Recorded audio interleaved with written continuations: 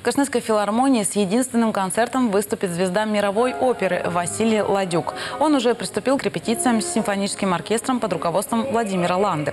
Один из лучших баритонов мира исполнит на сцене Большого концертного зала популярную классику и арии из опер. Музыкальные критики отзываются о Ладюке как об истинном художнике жанра. Его номера всегда артистичны и выразительны. Оценить выступление известнейшего оперного певца красноярцы смогут уже завтра, 9 сентября.